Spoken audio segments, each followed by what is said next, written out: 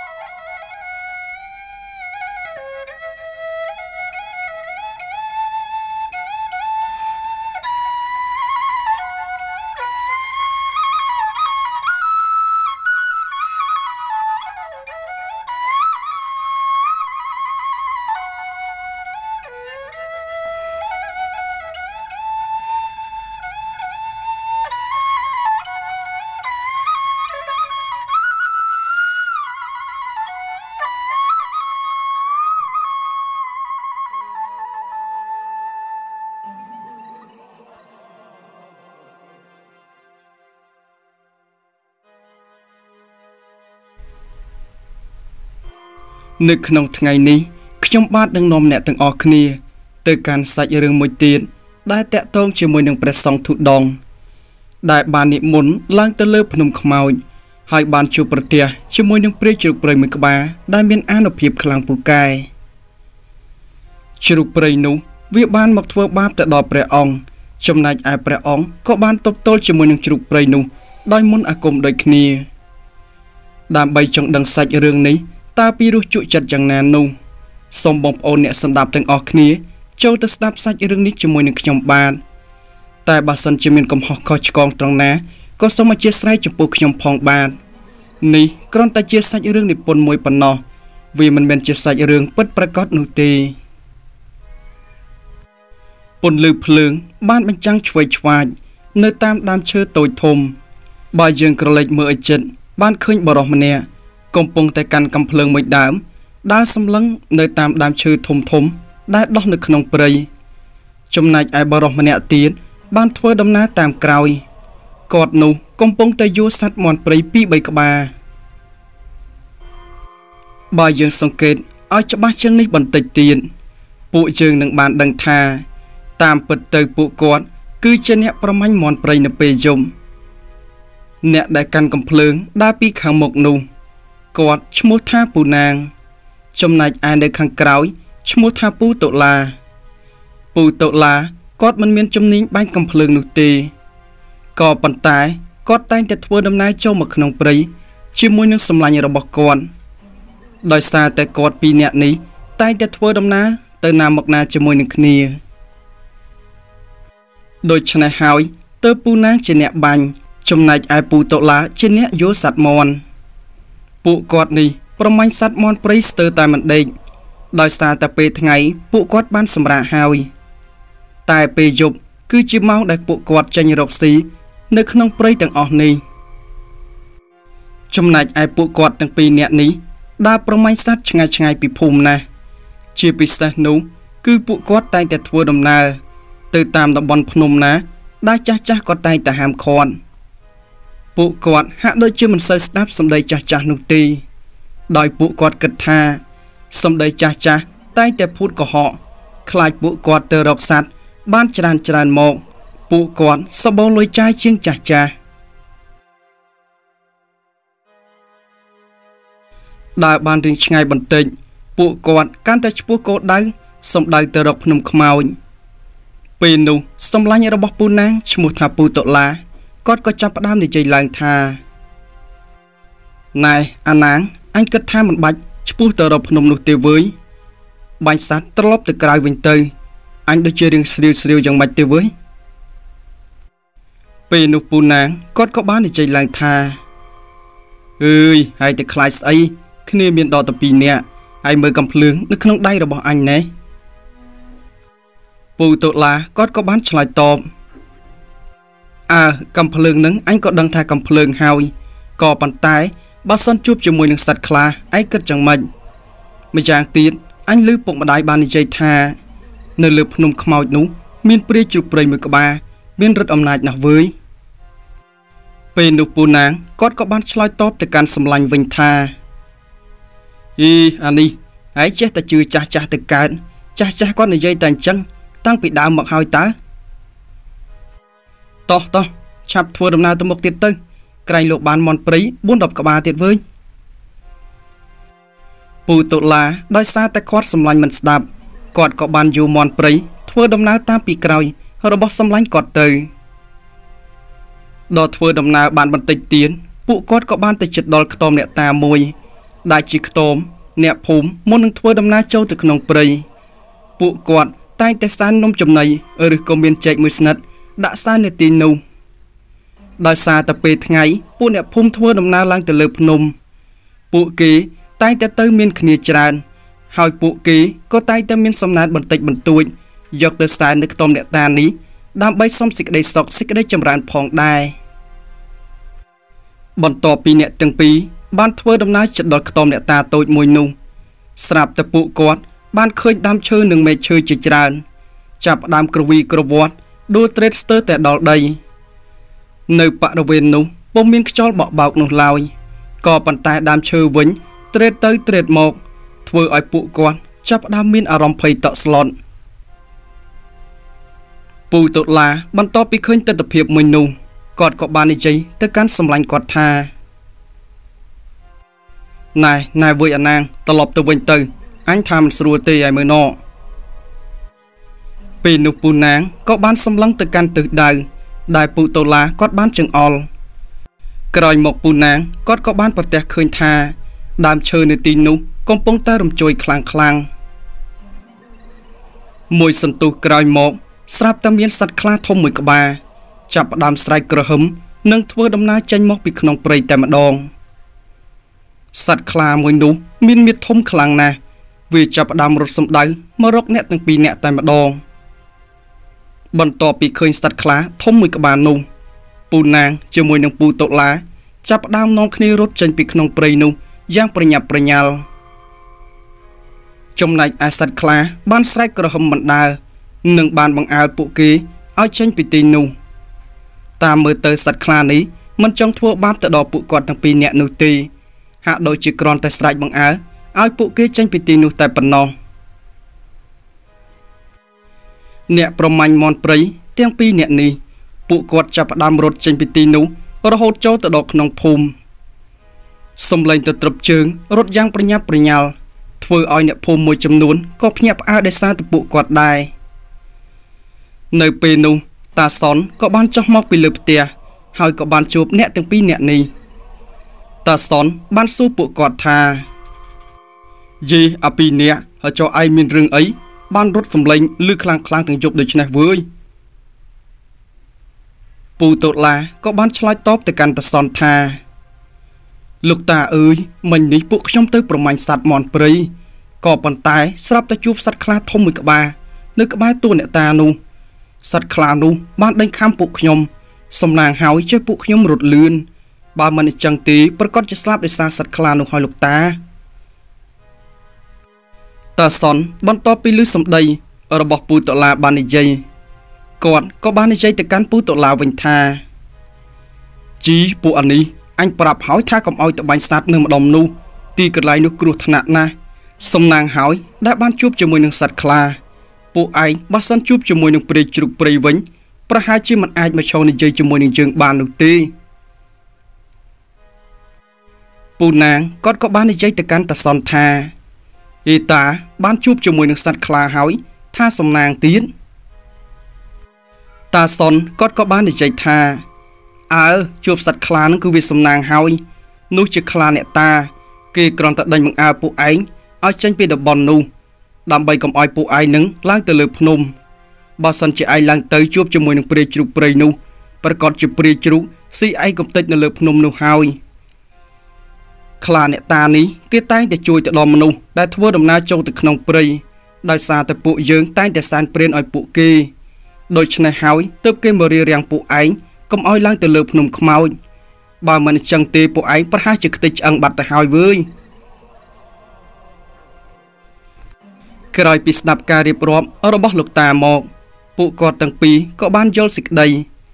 ចាប់តាំងពីថ្ងៃនោះមក ពួកគាត់លែងទៅប្រមាញ់សត្វពេលយប់ នៅក្នុងតំបន់នោះទៀតហើយពេលថ្ងៃពេលដែលពួកគាត់មានកិច្ចការធ្វើដំណើរកាត់តាមខ្ទមអ្នកតា អ្នកទាំងពីរតែងតែមាននំចំណីយ៉ាងហោចណាស់ក៏មានចេកមួយស្និតយកទៅសែននៅខ្ទមអ្នកតានោះដែរដោយសារតែពួកគាត់បានដឹងគុណអ្នកតាបានជួយជីវិតគាត់នៅក្នុងយប់នោះនៅក្នុងថ្ងៃមួយពូណាងនិងពូតុលា បានទៅកាប់អស់ ជាមួយនឹងអ្នកភូមិផ្សេងទៀតដោយពួកគាត់បានបរទេះតែមួយទៅជាមួយនឹងគ្នា ចំណែកឯអ្នកភូមិគេបរទេះទៅពីរផ្សេងទៀត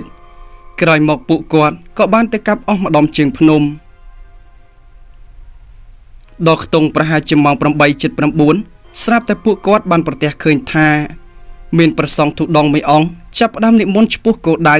សំដៅទៅរកភ្នំខ្មោចក្រោយពីឃើញព្រះសង្ឃទុដងធ្វើដំណើរទៅ ពូតុលានិងពូណាងជាមួយនឹងអ្នកភូមិផ្សេងទៀតពួកគាត់ក៏បានទៅបង្អាក់ខតដំណើររបស់ព្រះអង្គពួកគាត់ក៏បានក្រាបថ្វាយបង្គំហើយនិយាយឡើងថាខ្ញុំព្រះករុណាសូមក្រាបថ្វាយបង្គំព្រះអង្គព្រះអង្គមានដំណើរឡើងទៅលើភ្នំនោះមែនឬទេលោកឪពេជ្រក៏មានសង្កេតការឆ្លើយតបថាចម្រើនពរញោមអាត្មា គឺត្រូវធ្វើដំណើរឡើងទៅលើភ្នំនោះ តាញោមមានកិច្ចត្រូវធ្វើដំណើរឡើងទៅលើភ្នំដែរមែនឬទេពេលនោះពូតុលាគាត់ក៏បាននិយាយឡើងថាអត់ទេព្រះអង្គពួកខ្ញុំកណាគ្មានកិច្ចឡើងទៅលើភ្នំនោះឡើយក៏ប៉ុន្តែពួកខ្ញុំកណាចង់ប្រាប់ព្រះអង្គថាមិនបាច់ឡើងទៅធ្វើទុដងនៅលើភ្នំនោះទេព្រះអង្គទីនោះមានអមនុស្សកាចកាច ជាពិសេសនោះគឺមានព្រាយជ្រូកព្រៃមួយក្បាលដែលមានអានុភាពនៅលើភ្នំនោះ លោកឪពេជ្រក៏មានសន្និការតបវិញថាអគឺជារឿងព្រាយជ្រូកព្រៃទៅញោមអាត្មាមិនខ្លាចពួកវានោះទេដោយសារតែអាត្មាជាអ្នកមានសិលអាត្មាមិនទៅធ្វើអ្វីដល់ពួកវាឯណាពូណាគាត់ក៏បាននិយាយឡើងថា ព្រះអង្គស្ដាប់ពួកខ្ញុំកណាទៅមិនបាច់ធ្វើដំណើរឡើងទៅទេព្រៃជ្រូកព្រៃនោះវាស៊ីមិនដឹងអ្នកមានសិលឬក៏អ្នកអត់សិលអ្វីនោះឡើយ គឺវាសាហាវខ្លាំងណាស់ព្រះអង្គអ្នកភូមិរបស់ជើងស្លាប់អស់មិនតិចអ្នកហើយនោះទេឲ្យតែបានជួបជាមួយនឹងព្រៃជ្រូកព្រៃមួយក្បាលនោះលោកតាពេជ្របន្ទាប់ពីឮសម្ដីរបស់ពូណាងគាត់ក៏បានញញឹមតិចតិចហើយមានសង្កការឡើងថាចម្រើនពរញោមអាត្មាអរគុណហើយ ដែលបានជួយប្រាប់រឿងនេះដល់អាត្មាមុនក៏ប៉ុន្តែអាត្មាត្រូវទៅស្វែងរកទីស្ងប់ស្ងាត់ដើម្បីធ្វើទុដងណាញោម បន្ទាប់ពីខាត់ព្រះអង្គមិនបាន អ្នកទាំងអស់គ្នាក៏ចាប់ផ្ដើមចាត់ចែងបាយទឹកដែលពួកគាត់វិចយកទៅក្នុងព្រៃនោះដាក់មួយចំណែកនិងប្រគេនជាចង្ហាន់ទៅដល់ព្រះអង្គទៅលោកឪពេជ្របន្ទាប់ពីឃើញអ្នកភូមិប្រគេនចង្ហាន់ដូច្នោះព្រះអង្គក៏ព្រមទទួលចង្ហាន់ពីអ្នកភូមិបន្ទាប់ពីឆាន់រួចព្រះអង្គក៏បានធ្វើផាត់តាអនុមោទនាហើយព្រះអង្គក៏ផ្ដល់អវ៉ាន់ទៅដល់អ្នកភូមិមួយចំនួនផងដែរ បន្ទាប់ពីចប់កិច្ចព្រះអង្គក៏ចម្រើនពរលាញាតិញោមទាំងអស់នោះ ធ្វើដំណើរសម្ដៅឡើងទៅលើភ្នំនោះទៅបន្ទាប់ពីព្រះសង្ឃបាននិមន្តទៅបាត់ពូតុលាបាននិយាយទៅកាន់សម្លាញ់ថាណែអាណាងអញដូចជាអាណិតព្រះសង្ឃអង្គនេះណាស់វើយបើព្រះអង្គធ្វើដំណើរទៅប្រកាសជាជួបជាមួយនឹងព្រាយជ្រូកព្រៃពិតជាមិនខាននោះទេពូណាងគាត់ក៏បានឆ្លើយតបថាអើយវើយ ព្រះសង្ឃទុដងមានអាគមខ្លាំងពូកែណាស់ឯងគិតថាព្រះអង្គនឹងធម្មតាមែនឬទេបើសិនជាព្រះសង្ឃទុដងហ៊ាននិមន្តឡើងទៅលើភ្នំនោះហើយ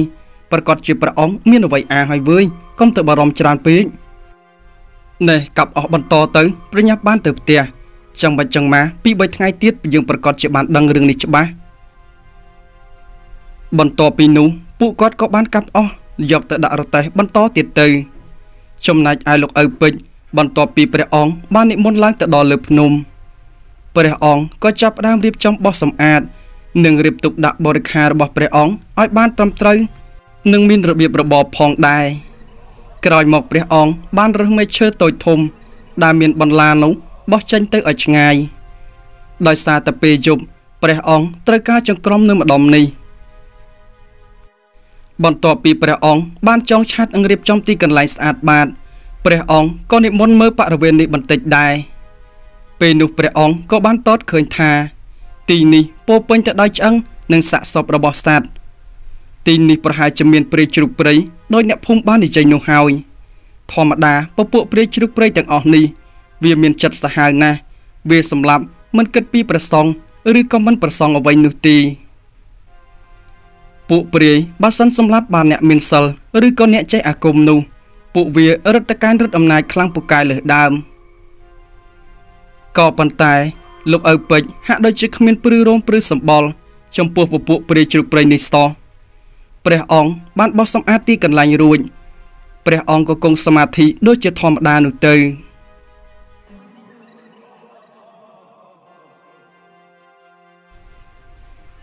នាពេលក្បាលប្រលប់សំឡេងសត្វតូចធំចាប់ផ្ដើមហាសំដៅទៅរកសម្បុក ខ្យល់ក៏បក់ត្រសៀកត្រសៀកមកប៉ះជាមួយនឹងព្រះកាយរបស់ព្រះអង្គនៅក្នុងពេលនោះក៏ក្រអូបក្លិនផ្កាព្រៃរំភើយរំភើយមកតាមចំណូលខ្យល់តិចតិចធ្វើឲ្យចូលទៅក្នុងច្រមុះរបស់ព្រះអង្គស្រូបយកខ្យល់ធម្មជាតិដែលកម្ររកបាន នៅក្នុងព្រៃភ្នំដូច្នេះបន្ទាប់ពីនោះព្រះអង្គគង់សមាធិយ៉ាងមានសភាពស្ងប់ស្ងាត់ពេលយប់ក៏បានឈានចូលមកដល់ ចំណូលពេលថ្ងៃដែលបានក្តៅភាយភាយក៏បានរលត់បាត់ចំណូលពេលយប់ដែលបក់មកត្រជាក់ត្រជាក់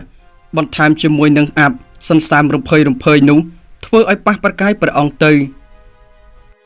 ហាក់ដូចជាមានដុំទឹកកកតូចតូចរុះរួយទៅលើប្រកាយរបស់ព្រះអង្គអញ្ចឹងចំណែកឯសំឡេងរបស់សត្វព្រៃជាពិសេសភាវៈអាក្រក់ចាប់ដើមចេញមករកស៊ីហើយនៅពេលនេះដោយសារតែដែនភ្នំដែលមិនសូវមានមនុស្សធ្វើដំណើរទៅដល់ ជាពិសេសគឺជាភ្នំដែលសម្បូរទៅដោយអមនុស្សទៀតនោះវាគឺជាទីកន្លែងរកស៊ីរបស់ពួកអស់នេះហើយក្រនទៅដល់ពេលជប់បន្តិចពន្លឺភ្លើងខៀវក្រហមជាច្រើនក៏ចាប់ផ្ដើមហោះរសាត់អណ្ដែតនៅលើភ្នំខ្មោចនោះតើអ្នកទាំងអស់គ្នាមានដឹងទេថាពន្លឺទាំងអស់នោះគឺជាពន្លឺអ្វីវាមិនមែនជាពន្លឺអំពិលអំពែកនោះទេតែតាមពិតវាជាពន្លឺភ្លើងរបស់ពពួកព្រាយ ព្រាយខ្លះក៏មានអានុភាពក៏មានពន្លឺភ្លើងធំ ចំណែកឯព្រាយតូចតាចក៏មានពន្លឺភ្លើងតូចតូចតាមនឹងទៅ ខ្លះក៏មានពន្លឺក្រហម ចំណែកឯខ្លះទៀតក៏មានពន្លឺពណ៌ខៀវក៏ប៉ុន្តែព្រះអង្គហាក់ដូចជាមិនខ្លាចរអាចំពោះពពួកអមនុស្សទាំងអស់នោះទេដោយសារតែពួកនេះវាមិនធ្វើអ្វីដល់ព្រះសង្ឃនោះឡើយ។ព្រះអង្គក៏បានគង់ស្មឹងស្មាតនៅក្នុងឆាត់របស់ព្រះអង្គ មួយសន្ទុះក្រោយមកស្រាប់តែបានលឺសម្រាប់ជើងប្រឹបប្រឹបដើរសម្ដៅមករកព្រះអង្គតែម្ដងសម្រាប់ជើងមួយនោះបានមកឈប់នៅក្បែរប្រកាយរបស់ព្រះអង្គក្រោយមកព្រះអង្គក៏បានប្រណិតឡើង ស្រាប់តែប្រទះឃើញតានឹងជ័យពីរនាក់កំពុងតែអង្គុយបត់ជើង នៅពីខាងមុខប្រភៈរបស់ព្រះអង្គ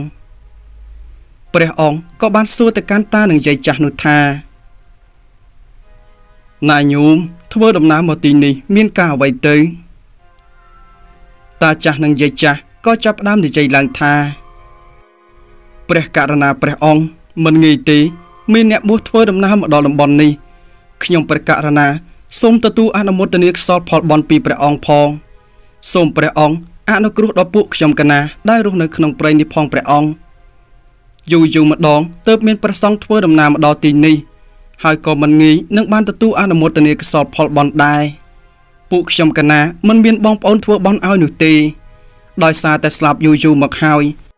ដូច្នេះមានតែសូមអនុមោទនាកុសលផលបន់ពីអ្នកបួសដូចជាប្រសងនឹងឯងខណៈពេលនោះលោកតាពេញក៏មានសង្ឃដីកាឡើងថាចម្រើនពរញោមមិនអីនោះទេចាំញោមទាំងអស់គ្នាទទួលអនុមោទនាកុសលផលបន់ទៅចោះ ក្រោយមកលោកតាពេញក៏ចាប់ផ្ដើមលើកដៃប្រណម្យបួងសួង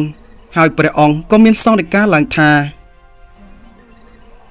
បុណ្យកុសល ដែលអាត្មាបានសាងតាំងពីតូចរហូតដល់វ័យចំណាស់នេះអាត្មាបានរក្សាសិលបរិសុទ្ធនិងបានជួយទៅដល់អ្នកភូមិជួយទៅដល់ជនក្រីក្រជាច្រើនគុណដែលអាត្មាបានបដិបត្តិក្នុងព្រះពុទ្ធសាសនា បានជាប់លាប់នេះសូមផ្សព្វផ្សាយកសលផលបុណ្យចែកជូនទៅដល់ពពុះអមនុស្ស ខ្មោចព្រីទៅបីសាច់នៅក្នុងព្រៃទាំងអស់នេះសូមមកទទួលអនុមោទនាកុសលផលបុណ្យឲ្យបានស្មើស្មើគ្នាដូចជាអាត្មា ដែលជាអ្នកកសាងបដិបត្តិនេះផងដែរទៅបន្ទាប់ពីព្រះអង្គមានសង្ឃដីការួចសំឡេងសាធុសាធុក៏ចាប់ផ្ដើមកើតឡើងរំពងពេញព្រៃចំណែកឯតានឹងជ័យនោះក៏សប្បាយចិត្តដែរដោយសារតែពួកគាត់បានកសលផលបន់បន្ថែមទៀតហើយ បន្ទាប់ពីនោះទៅ តានឹងយាយក៏បានក្រាបថ្វាយបង្គំលាព្រះសង្ឃធុដងធ្វើដំណើរចេញពីទីនេះ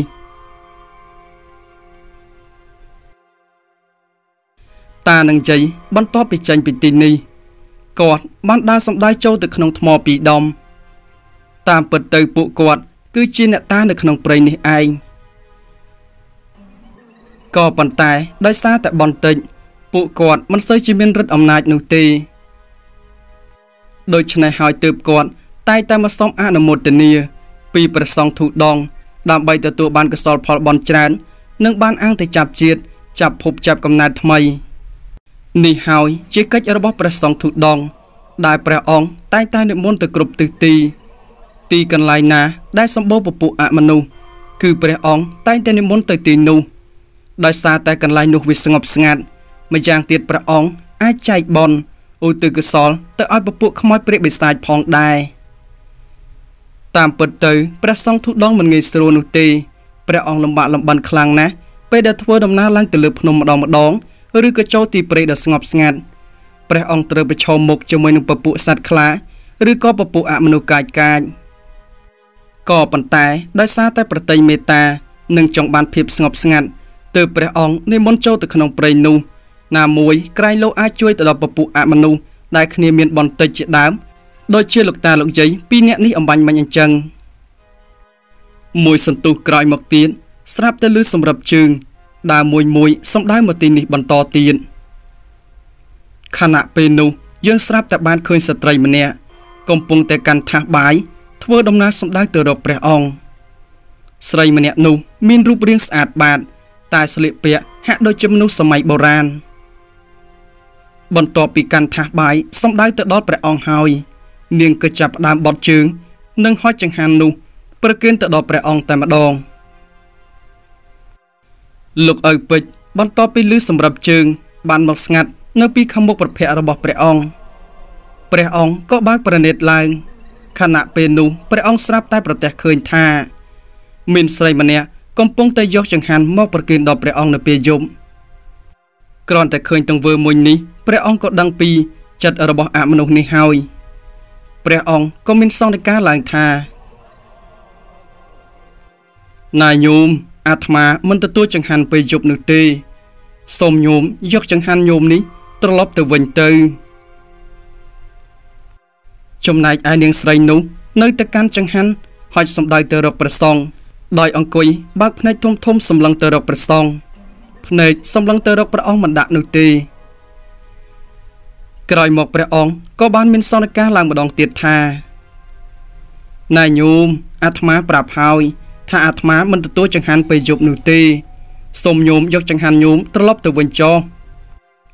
ស្រីម្នាក់នោះនៅតែហុចចង្ហាន់សម្ដៅទៅរកព្រះអង្គនាងអង្គុយថ្មឹងក៏ប៉ុន្តែកៅភ្នែកបើកលៀនលៀនសម្លឹងទៅរកព្រះអង្គបន្តិចក្រោយមកស្រាប់តែបានឮសំឡេងស្តោចចាប់ផ្ដើមកើតឡើងនៅក្នុងពេលនោះតែម្ដង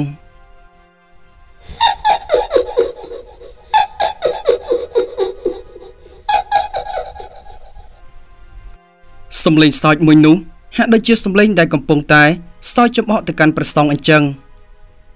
នៅក្នុងពេលនោះ នាងស្រីក៏បានប្រែក្លាយទៅជាព្រៃជ្រូកព្រៃមួយក្បាលព្រៃជ្រូកព្រៃនេះ មានទំហំធំខ្លាំងណាស់ចំណែកឯខ្នែងរបស់វា បានដោះចេញមកក្រៅយ៉ាងស្រួចតែម្ដង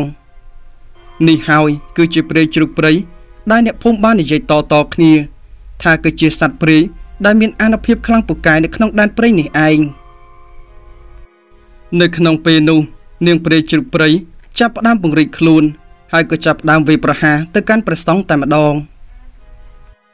ចំណែកលោកឪពេជ្រចាប់ផ្ដើមលើកដៃប្រណម្យសូត្រអាគមគាថារបស់ព្រះអង្គមួយសន្ទុះក្រោយមកពន្លឺខៀវខៀវចាញ់ជារង្វង់រង្វង់បានចេញពីប្រអប់ដៃរបស់ព្រះអង្គសម្ដៅទៅព្រះជ្រូកព្រៃ ពន្លឺនោះចូលទៅរារាំងជ្រូកព្រៃមិនឲ្យចូលមកចិត្តព្រះអង្គបានក៏ប៉ុន្តែនាងព្រះជ្រូកព្រៃនេះប្រហែលជាមិនចាញ់អាគមបន្តិចបន្តួចរបស់ព្រះអង្គនេះទេនាងព្រះជ្រូកព្រៃនៅតែធ្វើការវិប្រហាទៅកាន់ព្រះសង្ឃធុដងជ្រូកនេះវាមានកម្លាំងខ្លាំងនិងមានអានុភាពខ្លាំងពូកែណាស់បន្ទាប់ពីនោះព្រះសង្ឃធុដងក៏ចាប់ផ្ដើមសូត្រមន្តអាគមបន្ថែមទៀតធ្វើឲ្យដុំភ្លើងធំធំ ប៉ុនប៉ុនចង្អេចាប់ផ្ដើមហោះចេញសំដៅទៅបំបុកនាងព្រាយជ្រូកព្រៃតែម្ដង នៅក្នុងពេលនោះព្រះអង្គក៏មានសង្ឃដីកាឡើងថាណាញោមកុំបៀតបៀនទៅដល់សាមណៈវាមានបាបកម្មធ្ងន់ណាស់ញោមញោមត្រឡប់ចេញពីទីនេះទៅវិញទៅតែនាងព្រាយនៅតែបើកភ្នែកក្រឡោតក្រឡោតចង់សម្លាប់ទៅព្រះសង្ឃដោយសារតែបានព្រះសង្ឃចេះមុនអាគមខ្លាំងពូកែដូច្នេះផង បើសិនជាពួកវាអាចស៊ីបានរិទ្ធអំណាចរបស់ពួកវាកាន់តែខ្លាំងពូកែថែមទៀតខណៈនោះព្រះសង្ឃក៏ចាប់ផ្ដើមថាមអាគមកាន់តែខ្លាំងទៅខ្លាំងទៅ ធ្វើឲ្យដំភ្លើងកាន់តែធំឡើងធំឡើង រហូតទៅដុតរោនាងព្រាយជ្រូកព្រៃនោះធ្វើឲ្យនាងក្តៅររានាងព្រាយបន្ទាប់ពីត្រូវភ្លើងដុតក្តៅដូច្នោះ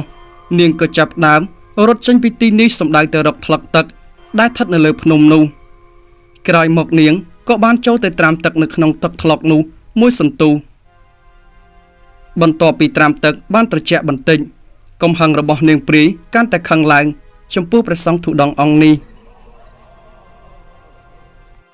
ស្ថានេះព្រាយជ្រូកព្រៃចាប់ដើមមកទាំងកំហឹងតែម្ដង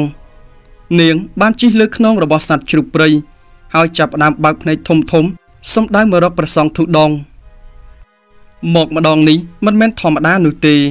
នាងចាប់ផ្ដើមពង្រីកខ្លួន របស់សត្វជ្រូកព្រៃនេះឲ្យធំឡើងធំឡើងសត្វជ្រូកព្រៃមានមៀតកាន់តែធំកម្ពស់កាន់តែខ្ពស់ក្រោយមកព្រៃជ្រូកព្រៃនេះចាប់ផ្ដើមលោតសង្គ្រប់ទៅកាន់ព្រះអង្គព្រះអង្គក៏មានសង្ឃការទឿនរំលឹកទៅដល់នាងព្រៃជ្រូកព្រៃនេះសារជាថ្មីម្ដងទៀតណាញោមឈប់ទៅកុំបៀតបៀនទៅដល់ពួកសាមណៈបាបកម្មធ្ងន់ខ្លាំងណាស់ញោម តែមើលទៅនាងព្រាយហាក់ដូចជាមិនស្ដាប់សង្ឃការរបស់ព្រះអង្គឡើយនាងគិតយ៉ាងម៉េចគិតតែសម្រាប់ព្រះសង្ឃបានដើម្បីស៊ីសាច់តែប៉ុណ្ណោះបន្ទាប់ពីនោះព្រះអង្គក៏ចាប់ផ្ដើមសូត្របាលីមុនអាគមរួចហើយយកចង្អុលដៃរបស់ព្រះអង្គទៅគូសវាសនៅលើដីបន្តិចបន្តិចខណៈពេលនោះស្រាប់តែផុសចេញទេវៈដៃ6បានផុសចេញមកពីក្នុងដី ក្នុងដៃរបស់ទេវៈមានអាវុធគ្រប់ដៃតែម្ដង មានទាំងកងចាក់មានទាំងកំបិត មានទាំងពូថៅផងដែរពេលនេះព្រះសង្ឃក៏លេងអាគមមែនតែនហើយដើម្បីទប់ទល់ជាមួយនឹងនាងព្រាយជ្រុកព្រៃដល់កំណាចខូខើម្នាក់នេះក្រោយមកទេវៈដៃ6ចាប់ផ្ដើមពង្រីកខ្លួនធំឡើងធំឡើងឲ្យប៉ិនព្រាយជ្រុកព្រៃនោះផងដែរក្រោយមកក៏ចាប់ផ្ដើមការវាយប្រហារជាមួយនឹងព្រាយជ្រូកព្រៃព្រាយជ្រូកបានយកខ្នែងរបស់វា មកឈ្មោះទៅកាន់ទេវៈតែទេវៈដែលបង្កើតឡើងដោយមន្តអាគមនោះបានយកពូថៅកាត់ផ្ដាច់ខ្នែងរបស់ជ្រូកព្រៃទាំងពីរនោះឲ្យធ្លាក់ទៅលើដី ចំណែកឯនាងព្រាយបានប្រើដៃរបស់ខ្លួនលូកមកច្របាច់ករបស់ព្រះសង្ឃដើម្បីឲ្យព្រះសង្ឃឈប់សូត្របាលីមន្តអាគមបញ្ជាដល់ទេវៈមួយនេះតែនៅក្នុងពេលនោះស្រាប់តែទេវៈដៃ6នោះក៏ចាប់ផ្ដើមប្រើកងចក្ររបស់ខ្លួន ទៅរឹតបន្តឹងខ្លួនរបស់នាងព្រាយឲ្យជាប់នៅស្ងៀមធ្វើអ្វីមិនកើតបន្ទាប់ពីនាងព្រាយបានជាប់ឆ្កឹងធ្វើអ្វីលែងកើតហើយខណៈពេលនោះស្រាប់តែមានអណ្ដាតភ្លើងផុសចេញមកពីក្នុងដីតែម្ដងដីចាប់ផ្ដើមប្រេះអណ្ដាតភ្លើងនៅរូបក៏ចាប់ផ្ដើមចេញមកខណៈពេលនោះស្រាប់តែមានបរោះមេតធំធំពីរនាក់ក្នុងដៃកាន់កំបិត កំពុងតែឈរពីខាងមុខព្រះអង្គ ពួកគេមានសម្បល់ខ្មៅក្រឹបចងកន្សែងក្រហមនៅនឹងក្បាលក្រោយមកមនុស្សមេតធំទាំងពីរនាក់នោះក៏បានក្រាបថ្វាយបង្គំទៅកាន់ព្រះសង្ឃធុដងព្រះអង្គក៏មានសង្ឃការឡើងថានាយពួកញោមធ្វើដំណើរមកទីនេះមានកិច្ចការអ្វីទៅពួកយមបាក៏បាននិយាយឡើងថាព្រះករណាព្រះអង្គខ្ញុំព្រះករណាគឺមកជួបវិញ្ញាណរបស់នាងព្រាយនេះ ដើម្បីចូលទៅកាន់ឋាននរកព្រោះនាងនេះបានសាងបាបកម្មច្រើនខ្លាំងណាស់ឥឡូវដល់ពេលដល់វេលា ដែលត្រូវធ្លាក់ចូលទៅដុតរូនៅភ្លើងនរកហើយព្រះអង្គព្រះសង្ឃទុដងក៏មានសង្ឃការទៅកាន់ចមបាទាំងពីរអ្នកនោះទៀតថាបើនាងត្រូវធ្លាក់នរកអវិជ័យមែនចុះតាំងពីយូរណាស់មកហើយហេតុអ្វីក៏ញោមមិនមកយកគេទៅកាន់នរកទៅឲ្យនាងសាងបាបកម្មកាន់តែធ្ងន់ដូច្នេះ យមបាក៏បាននិយាយឡើងថាក្រាបថ្វាយបង្គំព្រះអង្គខ្ញុំមិនចេះតែអាចមកយកបាននោះទេ នេះដោយសារតែទោសរបស់នាងបៀតបៀនទៅដល់សាមណៈចំពោះព្រះសង្ឃដែលជាអ្នកមានសិលដូច្នេះដូច្នេះហើយទើបបាបកម្មរបស់នាងធ្ងន់ធ្ងរហើយនាងក៏គ្រប់ដល់ពេលវេលាត្រូវចុះទៅធ្លាក់នៅរូបផងដែរធម្មតាការបៀតបៀនទៅដល់មនុស្សធម្មតាធម្មតានោះវាមិនសូវជាបាបកម្មធ្ងន់ទេក៏ប៉ុន្តែ បើសិនជាបៀតបៀនទៅដល់ព្រះសង្ឃអ្នកមានសិលស្អាតបាតនោះបាបកម្មក៏វាច្រើនតាមនឹងដែរព្រះអង្គឥឡូវខ្ញុំប្រកាសណាសូមក្រាបថ្វាយបង្គំលាយកវិញ្ញាណរបស់នាងព្រាយនេះចូលទៅឋាននរកឲ្យព្រះអង្គនាងព្រាយដែលត្រូវកងចាក់រត់ខ្លួន ពេលដែលសម្លឹងឃើញភ្លើងនរកក្រហមច្រាក៏ចាប់ផ្ដើមផិតភ័យស្រែកយំនាងនេះចាប់ផ្ដើមស្រែកអង្វរទៅដល់ព្រះសង្ឃធុដងឲ្យព្រះអង្គជួយនាងផង ក៏ប៉ុន្តែវេនកម្មមិនអាចជួយបាននោះទេតម្រាំតែភ្ញាក់ខ្លួនក៏វាយឺតពេលទៅហើយមុននេះព្រះអង្គក៏ធ្លាប់ទូមានដែរក៏ប៉ុន្តែនាងមិនស្ដាប់សង្ឃការរបស់ព្រះអង្គតតែបានឃើញចមុបានិងអណ្ដាតភ្លើងនៅរក់ភ្លឹមផ្លែតភ្លឹមផ្លែតទៅបនាងចាប់ផ្ដើមភ្ញាក់ខ្លួននៅពេលនោះយមបាក៏បានយកវិញ្ញាណរបស់នាង ចូលទៅកាន់ឋាននរកបាត់ទៅ បន្ទាប់ពីយមបាទៅបាត់ភ្លើងនរកក៏បានរលត់ចេញទៅវិញ ទីកន្លែងនោះក៏បានស្ងប់ស្ងាត់ដូចជាធម្មតា បន្ទាប់ពីនាងព្រាយត្រូវយមបាលយកទៅឋានរូបបាត់ពពួកខ្មោចព្រាយបិសាចទាំងអស់និងពពួកអ្នកតាព្រៃដែលស្ថិតនៅលើភ្នំ ពួកគេនាំគ្នាបង្ហាញខ្លួននិងមកក្រាបថ្វាយបង្គំទៅដល់ព្រះសង្ឃដោយសារតែបានឃើញព្រះសង្ឃមានអានុភាពខ្លាំងពូកែជាពិសេសគឺជាព្រះសង្ឃដែលមានសិលបដិបត្តិច្បាស់លាស់ទើបពួកគេមកស្ដាប់អវាទនិងសូមអនុមោទនាកុសលផលបុណ្យបន្ថែមទៀត។ ក្រោយមកព្រះអង្គក៏បានគង់នៅទីនោះអស់រយៈពេលជាងកន្លះខែ ចំណែកឯពពុះអមនុស្សក៏បានផ្គត់ផ្គង់ចង្ហាន់ទៅដល់ព្រះអង្គដែរចាប់តាំងពីពេលនោះមកព្រៃជ្រូកព្រៃក៏បានរលាយបាត់ដោយសារតែពួកយមបាលបានយកវិញ្ញាណរបស់នាងព្រាយនោះចូលទៅក្នុងឋាននរកនៅពេលនោះឯងបន្ទាប់ពីនោះព្រះសង្ឃក៏បាននិមន្តចុះពីលើភ្នំក្រោយពីព្រះអង្គបានគង់នៅជាងកន្លះខែ ចំណែកឯអ្នកភូមិបានឃើញព្រះអង្គមានជីវិត ពួកគេក៏បានទៅក្រាបថ្វាយបង្គំនិងសាកសួររឿងទាំងអស់នេះចំណែកឯព្រះអង្គក៏មិនមានសង្ឃការអ្វីច្រើនដែរគ្រាន់តែព្រះអង្គមានសង្ឃការឡើងថា ធ្វើល្អគឺទទួលផលល្អអ្នកធ្វើអាក្រក់តែងតែទទួលផលអាក្រក់បាបកម្មមិនដែលផ្លេចជើងនោះទេអ្នកសាងបាបពេលដែលបាបមិនតន់ឲ្យផល បានគិតថាវាផ្អែមដូចជាទឹកឃ្មុំ ក៏ប៉ុន្តែពេលដែលបាបឲ្យផលហើយនោះដូចជានាងព្រាយជ្រូកព្រៃបានឃើញអណ្ដាតភ្លើងរបស់នរុអញ្ចឹងឯងបន្ទាប់ពីនោះព្រះអង្គក៏បាននិមន្តចេញពីទីនេះបាត់ទៅ ចំណែកឯអ្នកភូមិក៏អាចកាត់យល់សេចក្តីថា នាងព្រាយគឺត្រូវបង្ក្រាបដោយសារព្រះអង្គនេះបាត់ទៅហើយចាប់តាំងពីពេលនោះមកអ្នកភូមិក៏លែងស្ទើរមានភាពភ័យព្រួយ ចំពោះពពួកព្រាយជ្រូកព្រៃដែលតែងតែយាយីទៅដល់ជីវិតរបស់មនុស្សទៀតដែរ ហើយសាច់រឿងដែលតកតងមុនអាគមនឹងមានអត្ថន័យអប់រំមួយនេះខ្ញុំបាទសូមផ្ញើជូនបងប្អូនខ្មែរទាំងអស់សម្រាប់ជាទីកំសាន្តហើយក៏សង្ឃឹមថាបងប្អូនទាំងអស់គ្នានឹងអនុគ្រោះបើសិនជាខ្ញុំ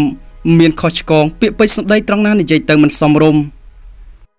ហើយសូមបងប្អូនទាំងអស់គ្នាចូលខមមិនល្អល្អនៅខាងក្រោមវីដេអូដើម្បីជាកម្លាំងចិត្តសម្រាប់ឲ្យខ្ញុំសរសេរនឹងនិពន្ធសាច់រឿងថ្មីថ្មីនេះទានចែកជូនបងប្អូនស្ដាប់កំសាន្តបន្តទៀតសូមអរគុណ